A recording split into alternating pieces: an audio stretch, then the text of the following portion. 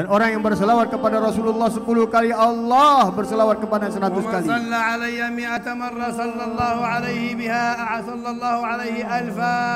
Dan orang yang berselawat kepadanya 100 kali Allah berselawat kepadanya 1000 kali. Wa man salla alayya alfa lam yamut hatta yubashshar bil jannah. Dan orang yang berselawat kepadanya 1000 kali tidak akan meninggal dunia sampai diberitakan kabar gembira untuk masuk ke dalam surga Allah.